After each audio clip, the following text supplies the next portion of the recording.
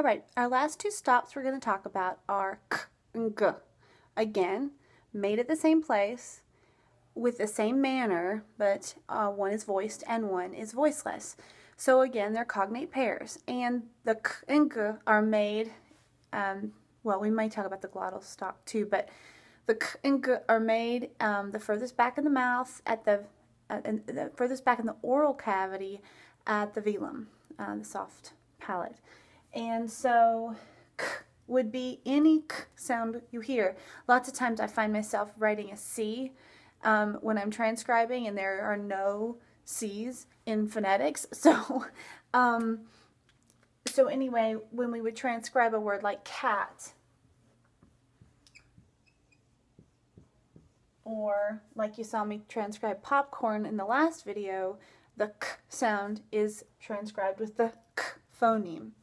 G, same kind of idea. Bag,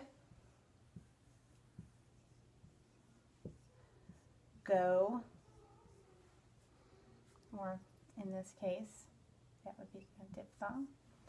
So you can look and transcribe those sounds. Now there is one more uh, plosive or stop in um, this manner of speech sounds, and it's the glottal stop.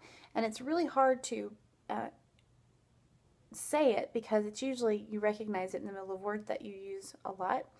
Um, for example, the word mitten, excuse me, the word mitten, M I T T E N.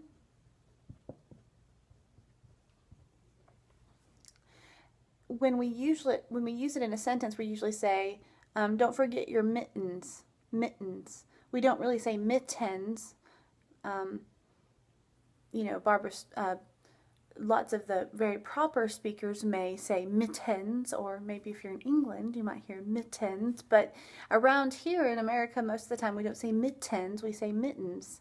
That, that idea of mittens, stopping the airflow in the middle, is that glottal stop jumping in. Children who have uh, cleft lip and palate uh, have speech sound disorders associated with having that kind of diagnosis, um, lots of times we'll use a glottal stop in place of more anterior stops because they can't build up the oral air pressure to be able to make the p or the b so that it'll come out as a the stopping of the airflow in the back at the glottis where the larynx is. So the glottal stop looks like that question mark without the dot in the bottom. So if we were to transcribe the word mittens,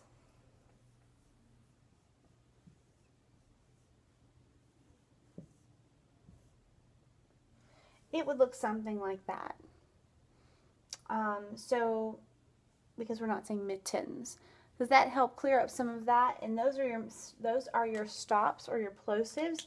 Next, we're going to move on to fricatives.